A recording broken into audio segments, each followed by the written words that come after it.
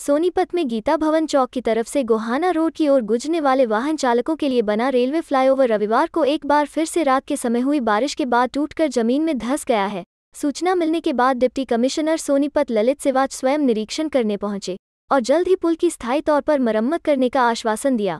आप देख सकते हैं कि सोनीपत में यह रेलवे फ्लाईओवर अब टूटकर ज़मीन में धंस चुका है।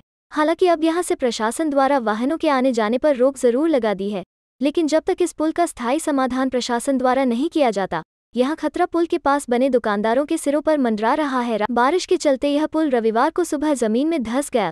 दुकानदार संजय सिंगला ने बताया कि इस समस्या का समाधान प्रशासन को स्थायी रूप से करना चाहिए। जो शनिवार को पुल धस गया था, उसका ठीक से कार्य नहीं हुआ और एक बार फिर से वो धस गया है। आइए सुनते हैं दुकानदार संजय सिंगला ने इस मामले पर क्या कहा। आज फिर वो आना रोड फलाई और दोबारा सड़क खिसक गई।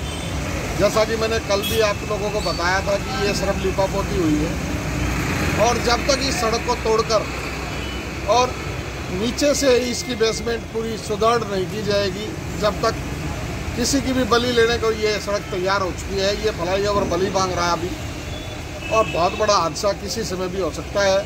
मैं प्रशासन से हाथ जोड़ कर निवेदन करता हूँ कि इस सड़क को रोककर अच्छी तरह से इसको तोड़कर नीचे से इसकी जो है ना पूरी बेसमेंट तैयार कर इसको तैयार किया जाए। नहीं तो किसी भी टाइम सुबह शाम, क्योंकि ये सड़क अंदर से खोखली हो चुकी है। ये फ्लाई ओवर अब एक हादसों का फ्लाई ओवर बन चुका है। अतः इसको बिल्कुल ठीक किया जाए।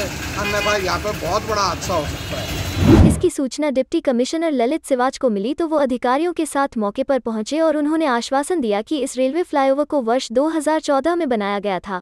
इस पुल को बनाने के लिए नेशनल हाईवे लोक निर्माण सड़क विभाग और नगर निगम द्वारा कार्य किया गया था। आइए सुनते हैं डिप्टी कमिश्नर ललित सिवाच ने इस मामले पर क्या कहा।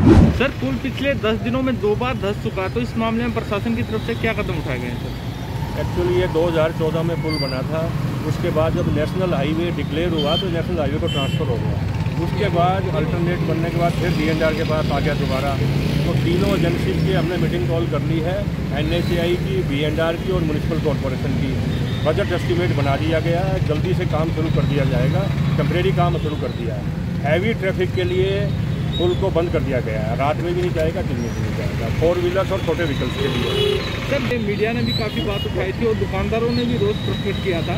उसके बाद खानापूर्ति की गई, जिसकी वजह से खानापूर्ति नहीं गई इसमें टेक्निकल फॉल्ट है।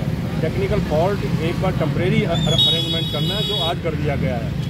और उसके बाद अगर कोई मेजर रिपेयर है तो टेक्निकल फॉल्ट को दूर करने के लिए एस्टिमेट बना दिया है। एन ने BNR ने और म्यूनसिपल कॉरपोरेशन ने मिलकर बनाया है। तो बेस्ट पॉसिबल वे आउट होगा, कर देंगे।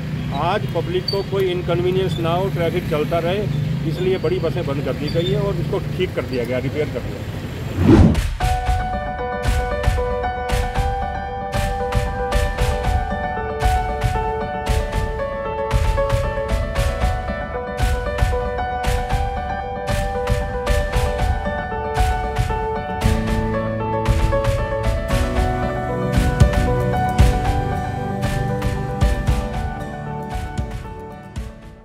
दोस्तों, आपको हमारी ये वीडियो कैसी लगी, आप हमें कमेंट करके ज़रूर बताएँ। वीडियो अच्छी लगी है तो इसे लाइक करें। ज़्यादा से ज़्यादा लोगों को व्हाट्सएप इंस्टाग्राम ट्विटर फेसबुक पर शेयर करें और चैनल पर नए हैं तो इसे सब्सक्राइब ज़रूर करें। और हाँ दोस्तों, पास में लगे बेल आइकॉन को ज़रूर दबाएँ, ताकि जब भी कोई नई वीडियो चैनल पर आए, उसका सीधा संपर्क आपके फ़ोन से हो जाए। आप हमें ट्विटर इंस्टाग्राम फेसबुक पर फॉलो भी कर सकते हैं। लिंक आपको डिस्क्रिप्शन में मिलेगा। देश दुनिया की खबरों के लिए हमारी website S S G J D news dot com पर लॉग इन करें। जय हिंद, वंदे मातरम।